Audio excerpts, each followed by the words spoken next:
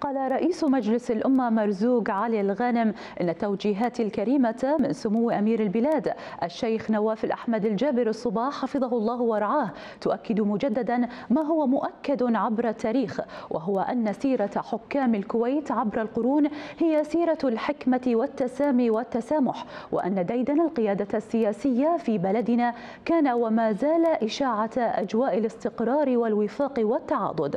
وتقدم الغانم بالشكر والثناء والتقدير لسمو أمير البلاد على توجيهاته السامية بدءا بالدعوة الكريمة للحوار الوطني بين السلطتين مرورا بدعمه الكريم لما تمخض عنه الحوار من مرئيات وانتهاء بقراره تفعيل المادة الخامسة والسبعين من الدستور وتكليفه رؤساء السلطات الثلاث باقتراح الضوابط والشروط للعفو عن بعض أبناء الكويت المحكومين بقضايا خلال فترات ماضية تمهيدا لاستصدار مرسوم العفو.